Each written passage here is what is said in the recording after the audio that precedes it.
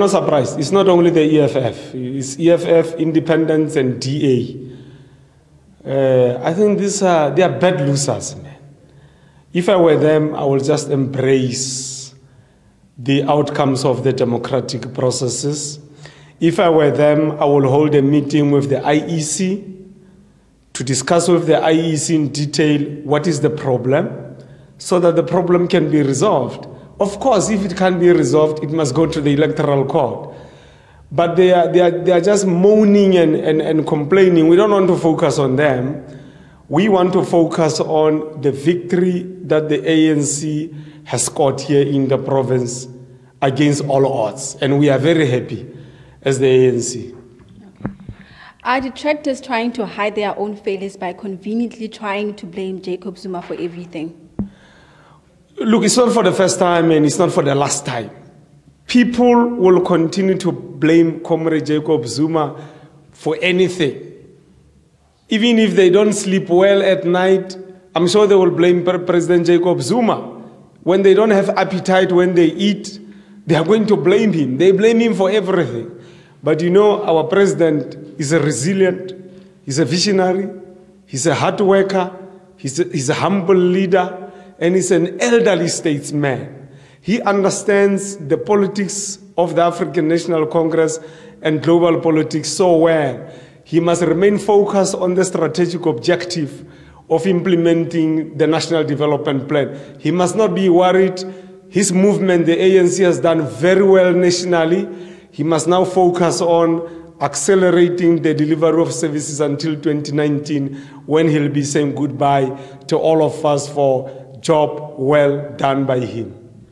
Okay. Um, support for the ANC has declined by some 10% according to the voter percentage. What could the reason be? I, I say to people, people must understand that every time when we go to the elections, we start from zero. All of us.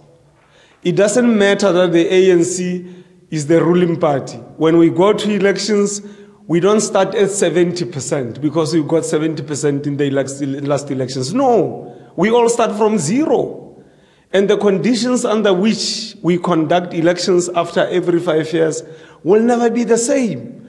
So we must not compare bananas with apples. Of course, we must always aim high to get 100%, 90%, 80%, and so on. But as the ANC, we are very happy with what we have achieved so far. The ANC remains the most popular organization in South Africa. The people still stand with the African National Congress. So it's time to celebrate as South Africa. The opposition parties may form a coalition in Rustenburg to take the municipality from the ANC. Are you shaken by that? No, no, no, it's not going to happen. There can't be any coalition in, in Rustenburg. The African National Congress is currently at 47%. We are still waiting for about 18% of the votes to be verified by the IEC. We have won all the 18 municipalities in the province, all the four districts in the municipalities.